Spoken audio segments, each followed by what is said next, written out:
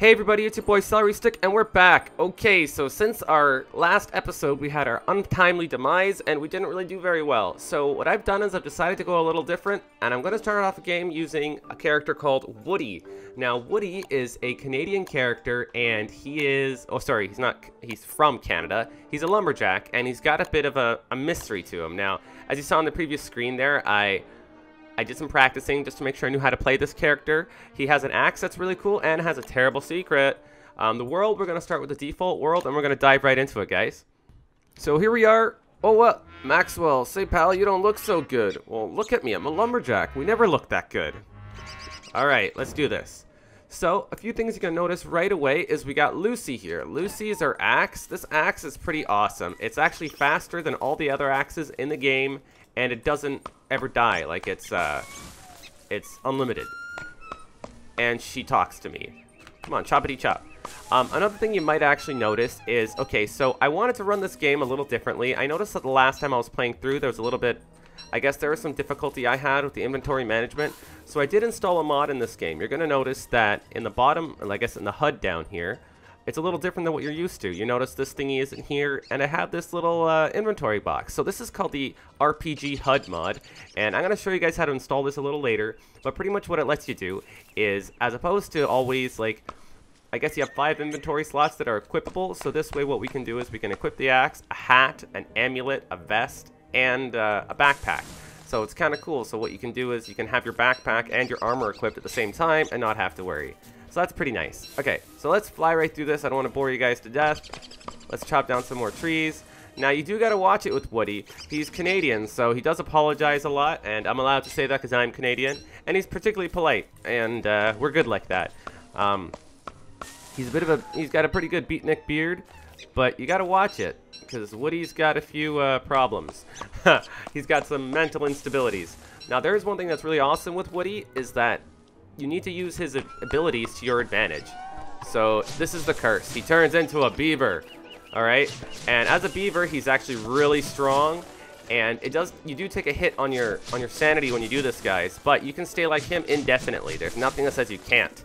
All you gotta do is keep stocking up on uh, trees and stuff. So what I do when I'm in the woody form here, the beaver forms, I go around and I. oh man, you gotta watch it. He eats everything. And the spacebar behaves a little differently since the new The Stuff of Nightmares update. There's another way to do this stuff now. So what I go do is I just chop and uproot everything. Like one click, one click. So now this is kind of like a... oh, man, look at this beaver. He's awesome. And of course he turns into a beaver because, you know, Canadians like beavers. Um, let me know if you know what I'm talking about because on our nickel we have a beaver. Um, What's really awesome about Woodie is he's super strong like this. He can actually take out a lot of bad guys and a lot sooner than you normally would. But the actions that you do, you gotta watch because it also damages you. Like you got this log meter, that's pretty cool. Like one, two, three, four, five, done. Now these killer bees are gonna come after us, but we don't even have to kill them. And beauty is, even if we die, you don't actually die. Okay, we gotta run. We gotta hightail it out of there. So watch this. We can actually eat the berry bush, and it'll restore some of our beaver buzz, if you will. I'm not sure what that's called, but we eat all these logs, and it's... Let's just eat them all up. They, they bring up our health. Clearly, I still suck at this game. okay, last time the bees didn't give this much chase. Let's just let's just outrun them. It's really tricky right now. Um, one thing you gotta watch is when you come back to life, though, you're gonna be low on health and low on hunger and he he is immune to the dark, like he has night vision, so you don't have to worry about getting stuck at night with Beaver, with Beaver Woodie. But you do gotta, you do gotta watch out though. You might actually end up spawning at night. I think. I, am pretty sure you can respawn at night, and you gotta watch that. You don't want to get caught at night without being in their Beaver form. Okay, so I'm gonna keep going around. This is really awesome. Look at this awesome Beaver. Look at him. Oh man. So I went to school in the Ottawa Valley. There's a bunch of other YouTubers out there that are from the Ottawa Valley. Let me know in the comments if you know any other popular YouTubers that are from the Ottawa Valley. Um, I'm not from the Ottawa Valley, I just went to school there. And there's a little shop, if you go down in the market, there's a place called the Beaver Tail. Uh, actually, I guess it just they just sell beaver tails. The thing is just called beaver tails. So anyways, they're like these funnel cakes. They're well, it's kind of like a flattened funnel cake. They're just really tasty. It's like deep fried pancake batter with syrup. Mmm. All right. We're just going to go around, literally. It's not really, it might seem cheaty at first, guys, but it really isn't. Because you're going to notice that you really take a hit on your sanity. Like, when we come back, we are not going to be in good shape. But I like doing this right away at the beginning of the game just to get it over with, and you get yourself a bit of a head start. Details in this game are really awesome, especially as this beaver. Now it's nighttime, and you can see our, or it's dusk, I guess, and you can see the, the night vision. I'm really, you can't access everything. Like, right now, I can't look at the map. It doesn't let you. No, I'm actually trying to find us a stone deposit, because what's really nice is when you gnaw, it's a, it's a, it's a... pardon me, when you gnaw at things, it's um, it's a shovel, it's a hammer, and it's a pickaxe. So it's it, it does everything. So and it's usually like one-hit wonders. And you're you're actually you can attack just like that as well. And the gnawing when you attack is uh, it's like a tentacle spike. So it's pretty powerful. It's pretty good. But you gotta watch it though. I'm looking for some beefaloes and some. I want beefaloes and I want some rocks, some stone. Oh no, I wasn't paying attention. Okay, so I wasn't paying attention to our hunger bar, and now here we're back. Okay, and I guess, so you come back really low on hunger, you come back really low on health and sanity. So when you do this, you better make sure it's worth it. So I didn't do it very well. So we're back, we're Woodie again, and we're pretty batshit crazy. That is the one big thing you'll notice is that you get batshit crazy, like, I mean really crazy. So there's beardlings, and you gotta watch it. You notice that you drop all your items when you come back as Woodie? Yeah, that's for show. And you gotta go back and pick them up. Now you can't recraft Lucy, your axe, but that's where she is up there. So we're gonna go back and get her. She's probably one of our most invaluable weapons you actually, or items. You don't end up going through nearly as much flint because, well, you think about it, you do mine up a lot of stone, but really, you burn up mostly wood with your pickaxe. Let's pick up all this junk so what I really want to try to do is get to the elusive pierogi again. Now we tried to do that last game, but we didn't make it. And one advantage of uh, Woodie is I believe in his beaver form, he's immune to the cold. So we can actually turn into a beaver during the winter and it would help us survive if we're stuck in a situation like that. So I think it's pretty good. What we're going to do is aim to make our bird cage again because we never did manage to get to our goals. But we do got to watch it a little bit. Like our hunger is really low right now and our health isn't doing the greatest. It's midday two, but we got a pretty good head start. I actually think it's worth doing that because you get all this, like look at all the resources we have. We got twigs, stone, flint. Thing is just you got to go back and collect all your resources because as Beaver Woodie, you can't hold anything, you have no inventory. And I mean, this is pretty nice. You're set up for a while. And your sanity does go back up. It recharges on its own. I think it recharges as you pick items up. You can pick some flowers too. I mean, it's not the end of the world. Let's just munch on those. Awesome, okay. Notice it's the, first, it's the second day and I've never actually had to make any fire. That's kind of awesome, right? You can just skip that step for the first little bit. I really don't like the new mechanic in this new update. The spacebar isn't the same. I actually got to go around clicking things. Before you could just kind of hold the spacebar and it would do it for you. I guess if I unequip the axe, it'd be a little easier. Go over here. Wow, I really uprooted a lot of stuff. So guys, what I'll do is I'll go and collect everything and I'll be back when I'm done. I don't want to bore you with this. Okay guys, we're back. So I managed to collect all the stuff I could find, and if you notice, we have a lot of stuff. We got lots of flint, a few saplings, twigs. I should probably eat these, get my health up a bit. Um, we got a lot of like tufts of grass.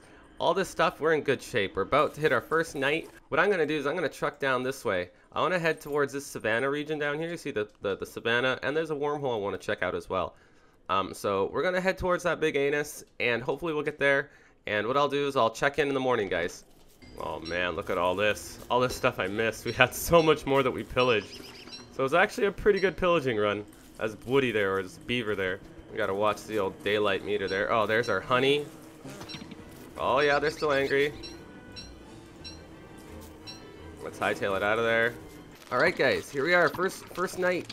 Just cooking up some food, getting the old hunger up. I find carrots are actually decent. I think they give you 5 health or is it 3 health as a cooked carrot? Let's check it out real quick.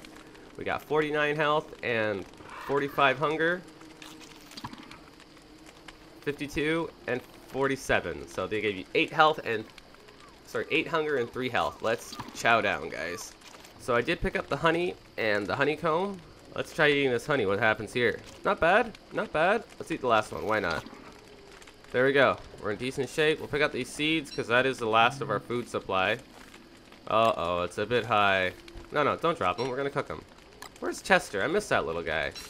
You know, Chester's kind of like, like Tupac. Like, he always comes back from the dead. You know, I think his name is actually Chester Shakur. you know, I knew he wasn't dead. He'll be back soon enough. Alright, and we're back. It's just barely morning, and we're going to take off. So, one thing you'll notice right away, guys, is playing as Woodie is a little more tricky. I wouldn't say is for, like, the most beginner of users. I mean, obviously you can't because you got to get the, uh, you got to get all the experience to be able to unlock him as a character. But you can notice it's tricky because we have beardlings already. We're already going batshit crazy, like really crazy.